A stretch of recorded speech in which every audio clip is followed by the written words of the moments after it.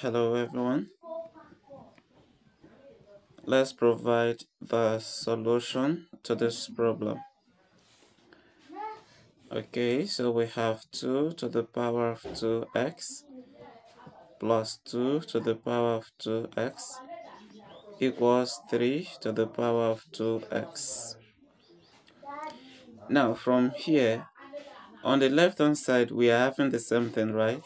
So 2 to the power of 2x is a common factor.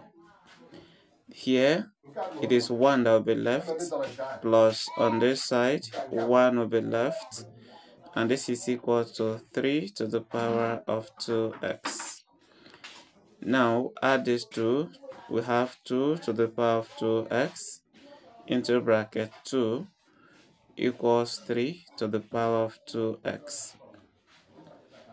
Now, if I want, I can divide both sides by 3 to the power of 2x, or I can equally divide both sides by 2 to the power of 2x.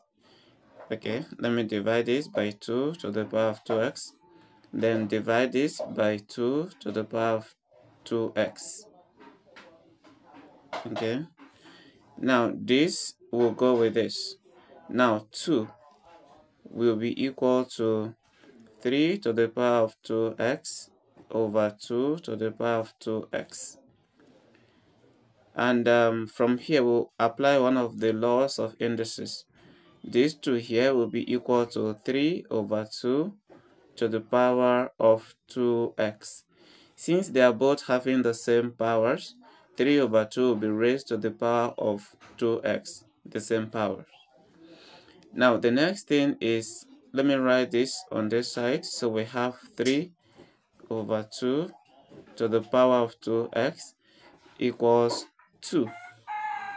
But then remember that this can also be written like this. 3 over 2 to the power of 2 to the power of x and this will now be equal to 2.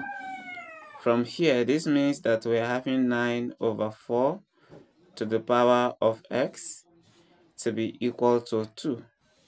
If you open this bracket, it gives you this. So, if you um open this bracket, if you open this bracket, it will give you 2x over there as the power. Now, take the log of both sides to get your x. So we will now say that um, log 9 over 4 to the power of x is equal to log of 2.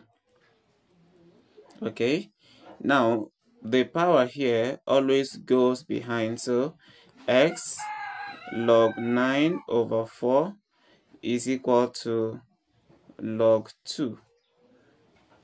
And then since we are making x the subject, we'll just divide this by log 9 over 4 then divide this by log 9 over 4 so this will go with the whole of this. Now our x is equal to log 2 divided by log 9 over 4 so this right here is the value of x that um, should satisfy the given equation. And you can decide to press your calculator to get the value of log 2 then um, get the value of log 9 over 4 so that your value of x will be in decimal form. Thank you for watching